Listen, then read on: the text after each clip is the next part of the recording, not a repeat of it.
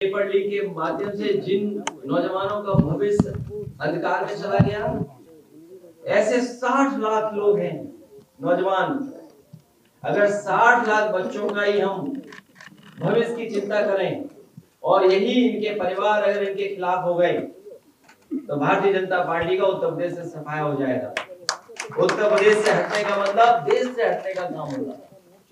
साठ लाख बच्चों के अगर परिवार के दो सदस्यों को जोड़ ले माँ बाप को, तीन गुणा साठ लाख, एक करोड़ अस्सी लाख, और एक करोड़ अस्सी लाख का अगर हम भाग दे दें अस्सी लोकसभा से तो हर लोकसभा में भारतीय जनता पार्टी का दो लाख पच्चीस हज़ार वोट कम हुआ है। सोचिए, अगर यही नौजवान और उनके परिवार के सदस्य भारतीय जनता पार्टी के खिलाफ खड़े हो जाएँगे तो प्रदेश से भारतीय जनता पार्टी का सफाया होना निश्चित है। इस काम को आगे बढ़ाने का काम समाजवादी लोग करेंगे। और जो चंदा के नाम पे वसूली हुई है, अब तो साफ़ हो गया है। ईडी, सीबीआई इनकम टैक्स भेजिए, बाद में पैकेज ले लीजिए। ईडी, सीबीआई इनकम टैक्स घर वापस चली जाएगी। अब तो अखबारों ने भी लिख दिया। सूची लिख दी।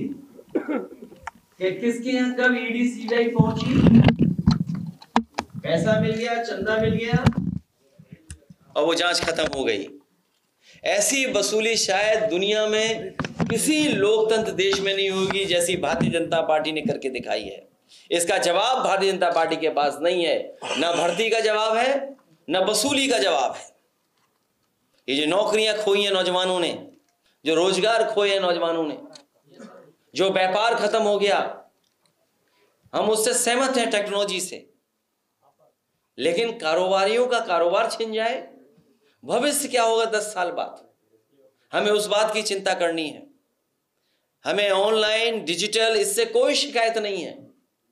लेकिन हमारे छोटे कारोबारी का खत्म हो जाए, सब खत्म हो जाए।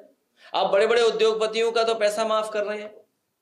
पंद्रह लाख करोड़ रुपए माफ़ किया आपने। लेकिन अगर हमारा छोटा व्यापारी, छोटा कारोबारी अगर दस लाख का भी लोन लेना चाहे तो क्या फ्री इंटरेस्ट के साथ है क्या? बिना कर्ज के साथ है क्या कोई? आप पंद्रह लाख करोड़ तो माफ़ कर रहे हैं, लेकिन छोटे कारोबारियों के लिए क्या सुविधा है आपके पास? और समाजवादियों का हमेशा मानना रहा है, जब हमारा किसान खुशहाल होगा तो हमारा व्यापारी भी खुशहाल होगा। समाजवादी लोग उसी दिशा में काम कर करके अपने किसान को खुशहाल करेंगे और व्यापारियों को सुरक्षा और सम्मान दिलाने का काम समाजवादी लोग करेंगे।